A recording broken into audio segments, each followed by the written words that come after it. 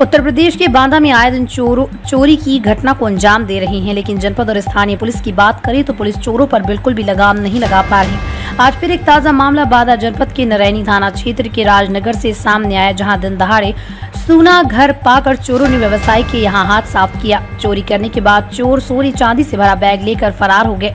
जैसे ही पड़ोसियों के द्वारा घर के मालिक को उसके घर में चोरी की सूचना दी गई तो उनके द्वारा तत्काल मौके पर पहुँच संबंधित थाने को चोरी की घटना की सूचना दी, जिस पर स्थानीय मौके पर पहुंचकर पुलिस ने घटने का, मौके का मुआयना किया।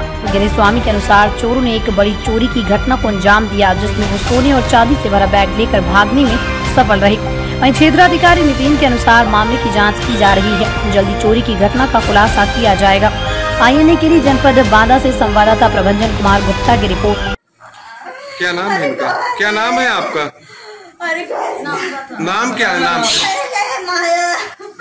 आपके यहाँ चोरी हो गई है क्या क्या चला गया है सामान?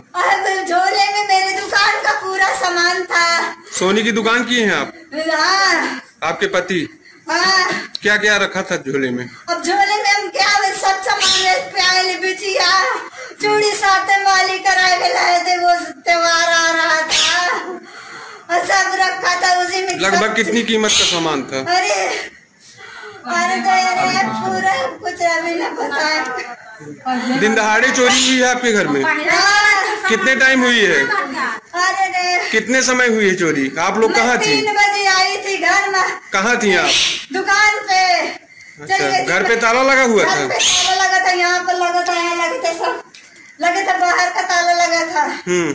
हाँ, अरे तो आपको कैसे पता चला कि चोरी हो गई है? बताया कि आई है कि चाची घर पे होगी। तो यहाँ कोई नहीं था तो चिल्ला के मुझे गया लिवाने के घर का ताला टूट टूट टूटा है तो दरवाजे खुले पड़े हैं। तो मैं भक्ति आई हूँ तो यहाँ कुछ नहीं लगभग कितने का उसमें माल मटेरियल था? कुछ तो अंदाज़ा आप हमको बता दीजिए।